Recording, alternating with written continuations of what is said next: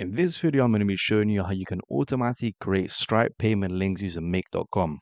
Unfortunately, this isn't as straightforward as it should be. But don't worry, I'm going to guide you through this whole thing from start to finish so you can get started using this automation within your onboarding process. My name's Leo. I'm the CEO and founder of Fluxomate, an operation agency that helps agencies all over the world set up scale-proof systems. We've literally set up thousands of automations just like this for our partners and agencies all over the world. Today, I'm going to show you how you can set up these exact same automations without holding anything back. The plan for this video is super, super simple. We basically just want to connect Stripe to make.com. The only reason I want to do this is so let's say you're in a sales school that you work so hard for in order to actually collect that money. The first thing you need is actually a payment link. We're going to show you how you can automatically generate that payment link using make.com. I've done a video for this about five months ago for Zapier, which is another no code automation platform similar to make.com. However, on make.com, there's no direct integration for the things that we need. So we're going to be using API. But don't worry, guys, I'm going to be holding your hand through every single step of the way and making it as simple for you to follow so you can just copy and paste this exact process within your agency so you can get started using this automation as part of your onboarding process or your sales process. It's split into three very, very simple steps. First, you want to create a product, then we want to create a price, and then we want to create a payment link. I don't want to make this video any longer than it has to be. So let's jump straight into Make and get started building this automation out for you guys. So guys, I've just loaded up my test make account that I use for my YouTube. All I'm going to do is head over to scenarios and once we're here, what I'm going to do is create a new scenario. Now guys, as always, the first step of any automation is the trigger. In this scenario, it's kind of hard for me to set the trigger because it will depend on what you're doing. So for example, if you're using this as part of your onboarding process, you can use the trigger as an update in your CRM. If you're using this solely for sales to actually generate invoices, you can have a monthly recurring trigger that happens first of the month, for example the trigger is going to be highly dependent on your specific use case. So for this example, I'm just going to leave it blank. It doesn't really matter what you do. The main thing that the trigger does is actually start automation. The second part of it will be exactly the same for everyone. So for this example, I'm just going to leave it as a webhook. I'm just going to leave it blank. Now we want to add another module. Then we want to search for Stripe, which is the payment platform we'll be using in this example. Once we're here, we see a bunch of different actions, and the ones that we want are create a product and create a price. However, as you can see, they don't have any of that. So instead, what we're going to do for this is make an API call. Now, guys, don't worry. I know that might sound intimidating, but I'm literally going to walk you through every single step, so it's not as complicated as it sounds. If you haven't already, you have to connect your Stripe account. It's literally as simple as just logging in. And once you've done that, it's time to actually get to work and actually create a product. As just to be very, very clear, all the information I'm getting is through Stripe's documentation. So for any reason this video isn't working at the time you're watching it, then please, please, please head over to docs.stripe.com slash API and check if they've updated any of the API information. As of May 2024, this is 100% working. I'm literally using it every single day within my agency, my partners' agencies. Please bear that in mind. If you're watching this deep into the future, then may they may have made some changes and to check all of that and how I actually created this is just by checking out the docs.stripe.com slash API documentation to get insight on what they're doing. So like I said, guys, the first thing we want to do is actually create a product.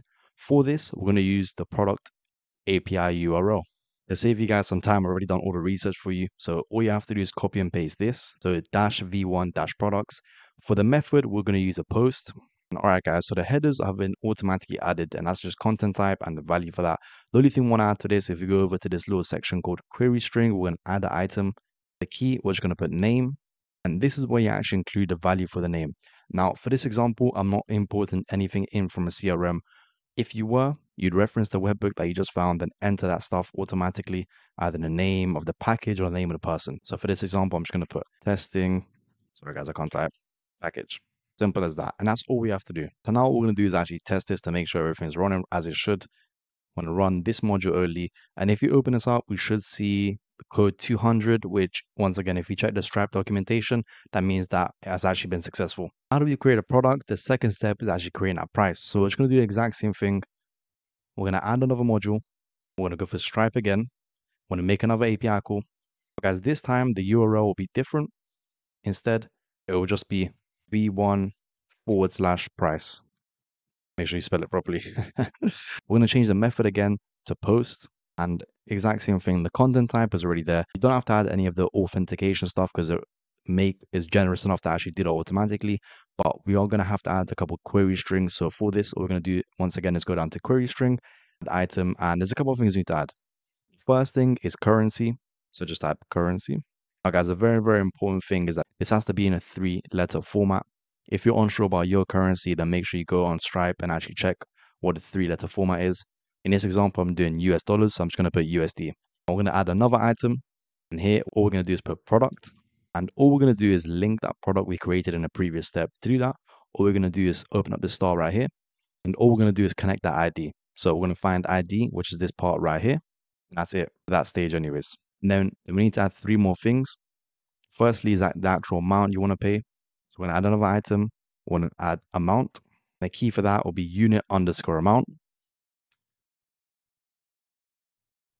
Guys, with Stripe, they always put it in cents. So if you want to charge someone $10, for example, here you need to put a thousand. If you want to charge someone $100, you put 10,000. If you want to charge someone a thousand, you want to put a hundred thousand. Basically, whatever number you have, times it by a hundred to get into cents. I don't know why they do it that way. It's just how the API works. Uh, for this example, I'm just going to do $10. As you can see, I put a thousand as the unit amount. And once again, guys, if you're doing this automatically as from updating your CRM and you already have that all that information set up in your CRM, you can just extract it straight through to create completely customized payment links each time. But for this example, we're going to keep it as simple as possible. I'm just going to show you how to actually use the API. We're going to have another action.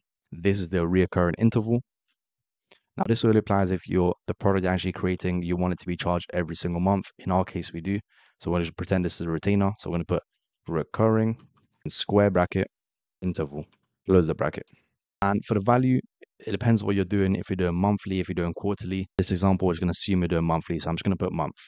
Cool, guys. And last but not least, we actually want to add fifth item to the specific API call, which is how often we're actually going to be doing this recurrent interval in. For us, it's going to be once a month. So all we're going to do is put recurring again, bracket. Now I want to put interval underscore, then close that bracket. And in this case, I want to do it once a month. So I'm just going to put three. But just an example, if you wanted to do once every six months instead of one, you put six. Instead of this invoice happening once a month, it'll happen once every six months. But once again, just for the example, I'm going to do once a month. And that's it for the price step. Now I'm going to press OK. And once again, as always, I'm going to run this module early to actually test it. I'm just going to copy that ID from the previous step so it doesn't fail. Perfect. So we have an error. Let's see. So it looks like we made a mistake, guys. It's not price. It should be prices with the S. So if you run this again, it should work. Perfect. Let's double check that. We need to get output 200. As you can see, it's now generated a price based on our product. Now, guys, we've created a product. We've created a price. All the thing we need to do is actually create that payment link. So for this, all we're going to do, once again, add another module, use Stripe, rearrange it back here. We're going to make another API call, of course. This time, the URL for the API call is going to be v1 dash payment underscore link. Links with the S. Don't make the same mistake I did last time. Uh, the method is once again going to be post. Content type is already added automatically. We need to add two things, the price and then the quantity. So for this, all we're going to do is add another query string, same thing we did last time. And here we're going to put line underscore terms bracket zero close bracket price close bracket. We're going to enter that price from a previous step by entering the ID. And then we're just going to do the exact same thing but for the quantity. So I'm going to put line underscore terms close bracket zero close bracket open bracket quantity and close that bracket again. And here we're going to put one because obviously we don't want them paying twice. It's going to be one time.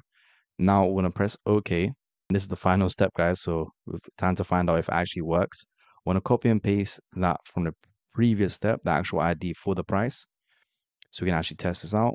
Looks good. Let's run it with a body and let's see if we set everything, everything correctly. Mm, so line itemers, so I must have made a spelling mistake somewhere. Should be items, not itemas. Apologies for that, guys. If you're doing this properly, make sure you're spelling it correctly. And then we could press OK and then test that again.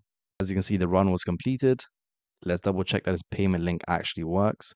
If you scroll all the way down to the URL, open this up, look at that. 10 per month, charge once a month, and all your prospect would have to do is just sign up and automatically complete it. Guys, there's a lot more you can do here. So if you just came for that specific tutorial, then goodbye. Thanks for watching. Key thing here is figuring out the right trigger. If you're doing as part of your onboarding process, then I would do it as an update in my CRM. For example, adding a card to a specific stage. Within that card, we need that, we'd have a bunch of information such as the name, the package they're choosing, billing frequency. So for example, if it's once a month or once every three months, or if just a one-time payment, the amount, which is extremely important. And you'll see, instead of us putting fixed amounts within the boxes, we're creating throughout this entire automation. We input data from the initial webhook or the trigger and add it in. So each of these things will be customized from the product, the price, or even the payment link. Obviously, you'd also need someone to actually put this payment link. So all you have to do for that is add another module and you can do Gmail, Slack, wherever you find easier, and just include that payment link from a previous step. That's pretty much it for the tutorial, guys. Like I said, I don't want to make this too long a reason. If you found this valuable, make sure to like and subscribe. I know it's not as straightforward as it should be, but I'm hoping this video will give you some clarity on what you actually need to do to actually solve this. If you're watching to the end and you're actually interested in using different automations like this in your agency, I've actually created this 20 plus page document going over exactly how you can use stuff like automations to up a scale proof agency. To get access to this, all you have to do is fill out the short form in the description. From that, you're not going to only get access to this document, you're also going to get access to a copy of your onboarding process that's been optimized based on your specific pain points, a copy of your client journey that's been optimized based on your specific pain points, and five different automations that you can set up with a step-by-step guide on how you can actually do that, once again, based on your specific pain points. This is an example of an AI-powered lead magnet. It's an extremely powerful tool. So if you're interested in this kind of stuff, I really encourage you to check out the first link in the description and complete that short form.